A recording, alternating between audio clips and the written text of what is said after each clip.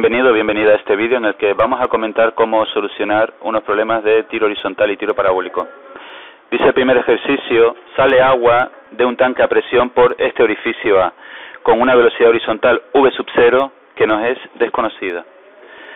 ¿Para qué intervalo de valores de V sub 0 el agua pasará por la abertura BC? Es decir, me está preguntando, ¿con qué valores de la velocidad tiene que salir de aquí para que pase por esta hendidura que está en esta pared?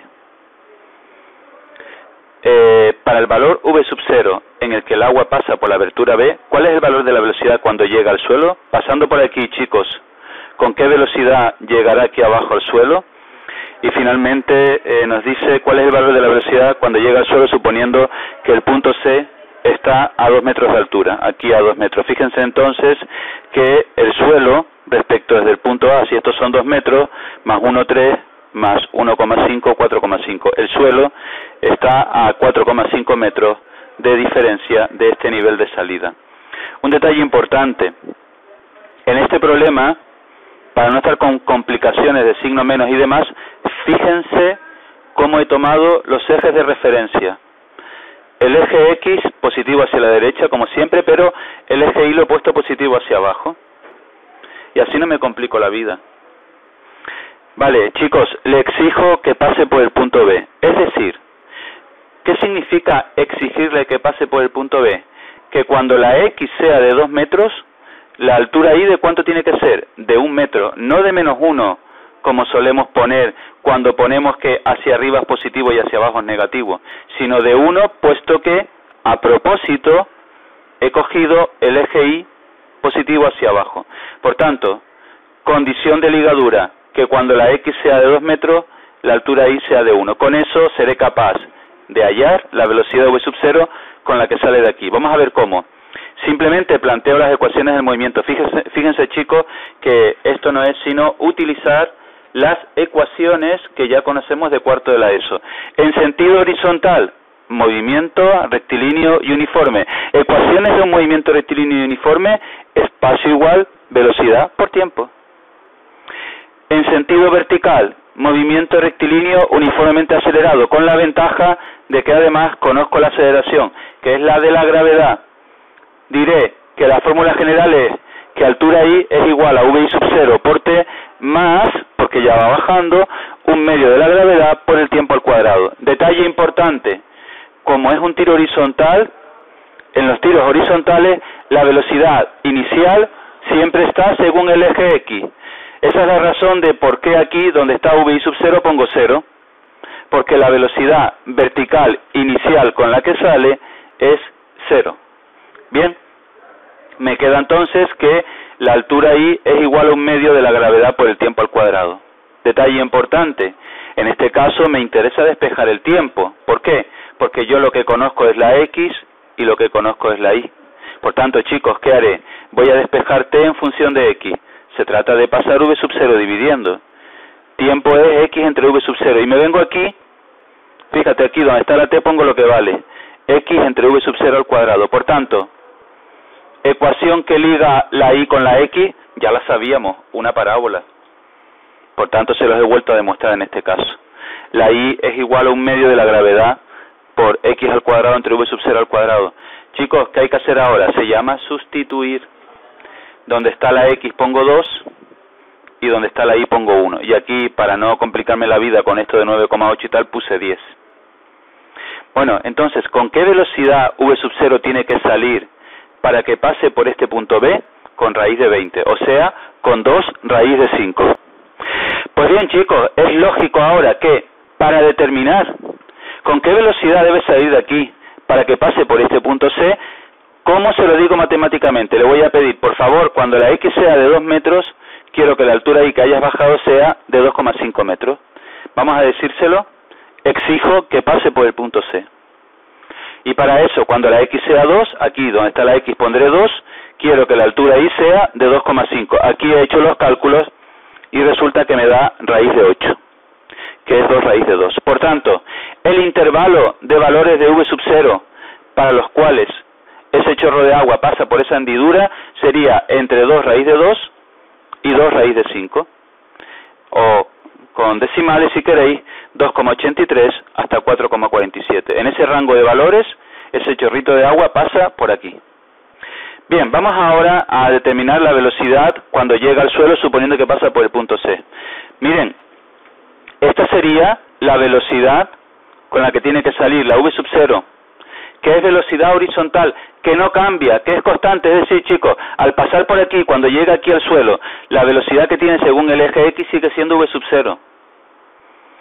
Pero la velocidad VI si bien es cierto que al salir sale con cero, a medida que va bajando va ganando velocidad. Por tanto, el vector velocidad al llegar aquí va a tener dos componentes. Una componente según el eje X y otra componente según el eje Y. Pues bien, vamos a hallar entonces VI.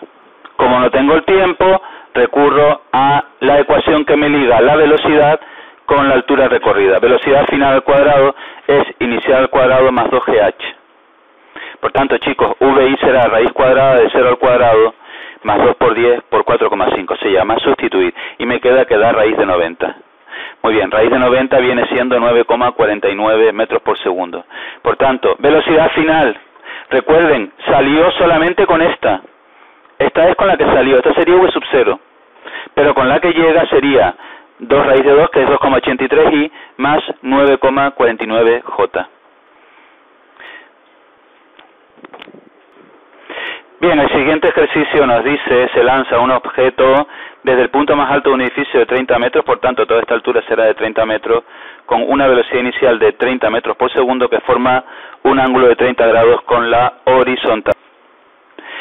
Me dice, haya la velocidad con la que llega al suelo. Bueno, este apartado es bien sencillo, puesto que lo primero que haré después será hallar las componentes, la componente horizontal y la componente vertical.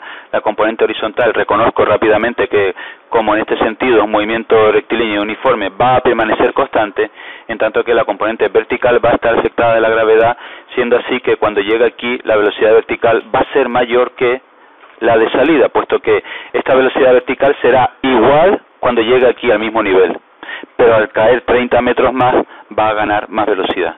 Por tanto, yo ya sé que la velocidad final va a ser necesariamente mayor que la velocidad inicial. Esto implica, chicos, que el ángulo de entrada aquí también va a ser mayor, lógicamente, puesto que la componente vertical ha aumentado. Bien, eso lo haremos enseguida. La distancia entre la base del edificio y el punto de impacto en el suelo, las coordenadas medidas del punto A, del punto O punto en el que la velocidad forma un ángulo de 38 grados con la horizontal y el tiempo que tarda en llegar al suelo. Pues bien, aquí tenemos el dibujo de lo que nos pide. En primer lugar, lo que les estaba diciendo, la velocidad final. Para determinar la velocidad final, la componente horizontal. ¿Cuánto vale Vx? Vx vale V sub 0 por coseno de 30. V sub 0 es 30, 30 por coseno de 30 me queda 25,98. Esta no va a cambiar. ¿Cuánto vale la velocidad vertical inicial? Y por eso lo llamo VI sub 0 para denotar que esta sí que va a cambiar. 30 por el seno de 30, que me va a quedar, lógicamente, 15 metros por segundo. ¿Qué va a pasar? Fíjate, en todo este recorrido, de aquí sale con 15, va a ir disminuyendo hasta que llega a la altura máxima en el que la velocidad vertical vale 0 y volverá otra vez a aumentar. Al pasar por este nivel, vuelve a valer 15. Y a partir de aquí, chicos, que va a caer 30 metros más de extra, ¿qué va a pasar? Que esa componente va a aumentar. Como yo lo que conozco es la altura, voy a utilizar la ecuación que liga la velocidad con la altura. VI al cuadrado es igual a V sub 0 al cuadrado más 2G por H. ¿Qué pongo? ¿Con qué velocidad pasa por aquí? Vertical, con 15.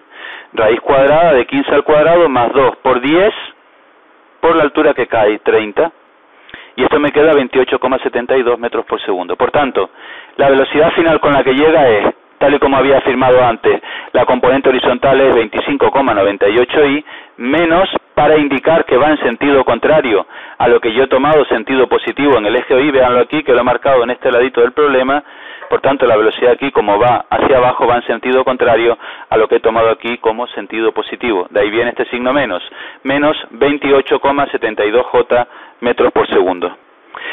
Bien, para hallar el tiempo de vuelo, una forma muy sencillita de hallar el tiempo de vuelo es utilizar esta expresión que la velocidad según el VI, VI final es igual a VI sub 0 menos gravedad por tiempo. Cuidado chicos, que aquí es donde se equivocan.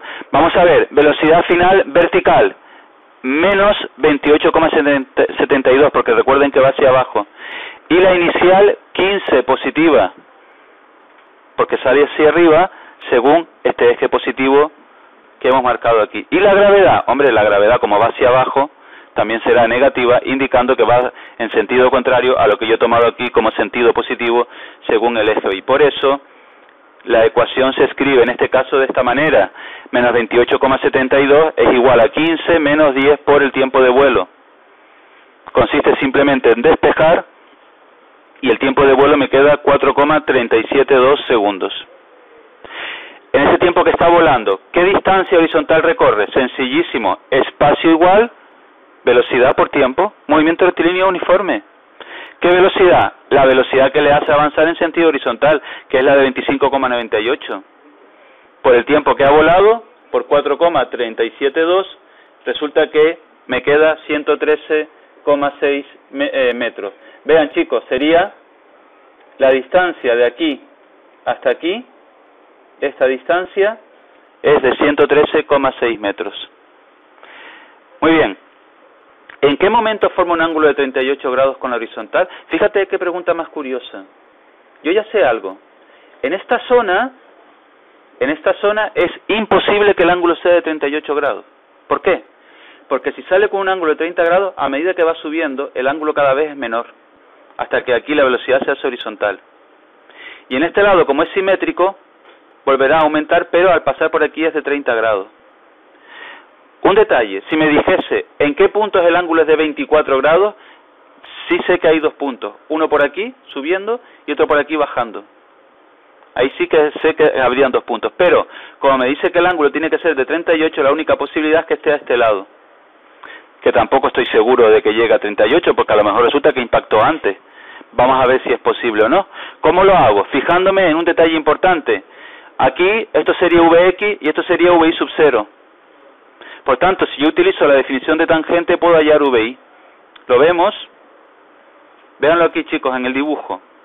En el instante en el que el vector velocidad forma un ángulo de 38 grados, aquí tendría la componente según el eje X y aquí tendría la componente según el eje Y.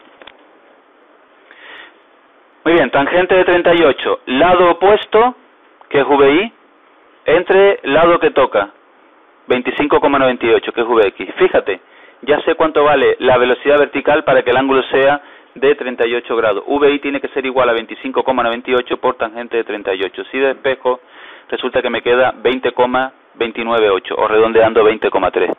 Negativa, lógico, esto ya lo sabía porque sé que aquí iba hacia abajo. Muy bien, con esa velocidad ya puedo hallar el tiempo que tarda en tomar esa velocidad se hace igual que antes, VI es igual a V sub 0 menos gravedad por tiempo, donde está la VI pongo menos 20,3, igual la de salida que es 15 menos 10 por T, me queda que el tiempo T que tiene que pasar es de 3,53 segundos. Pues chicos, si tenemos el tiempo, tenemos las coordenadas de ese punto. ¿Por qué? ¿Cómo se halla la coordenada X? Vx por T me queda 91,71 metros. ¿Cómo se halla la coordenada Y? Haciendo lo mismo, sustituyendo en la expresión de la altura en función del tiempo. Y es igual a VI sub 0 por T menos un medio de la gravedad por T al cuadrado. Y me queda menos 9,35, lógicamente negativo, porque recuerden que el nivel de salida era el punto A. Claro, si es menos 9,35 respecto de este nivel, respecto del suelo a qué altura estoy, pues 30 menos 9,35, que nos da 20,65. Por tanto, el punto donde la velocidad forma un ángulo de 38 grados con la horizontal es el punto 91,7, 20,65 eh, en el eje OI.